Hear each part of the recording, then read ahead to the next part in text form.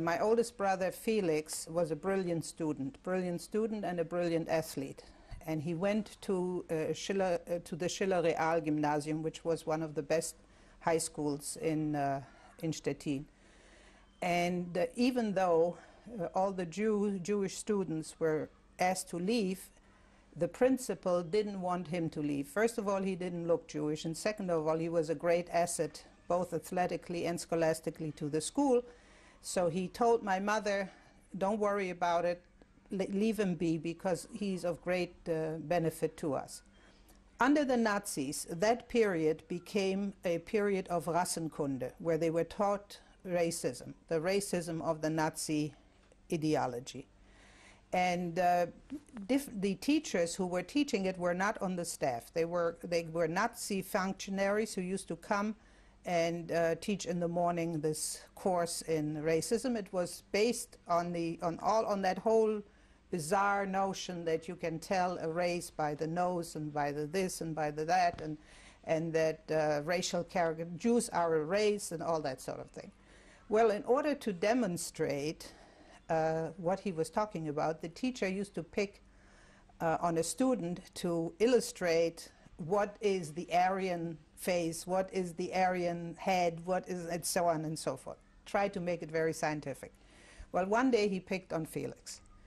And Felix was a blond, very handsome boy, well developed, and he gets up in front of the class and he tells him to take off his shirt and he turns his profile and he says, Now you see a pure Aryan head, and now you see pure blue Aryan eyes, and even the eyebrows. And he goes on and on and on.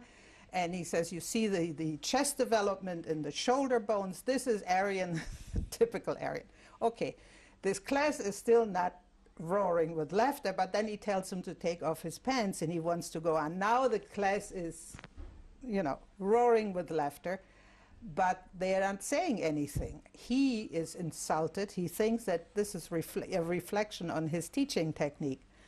And he runs out of the class and he puts the class on report with the principal that they have no respect for the, for the, uh, for the Nazi uh, ideology and that they are hooligans and oh, all kinds of things. Uh, the background of this is that there were young boys, for example, who resisted belonging to the Hitlerjugend. Well, that was very punishable. That was very punishable. And he thought that he had come across a group of these kids who didn't want to be regimented under the uh, Nazi rules.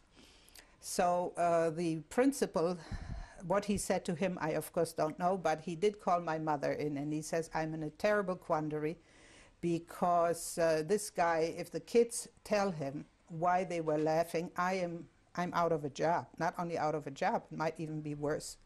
So you have to take your son out now.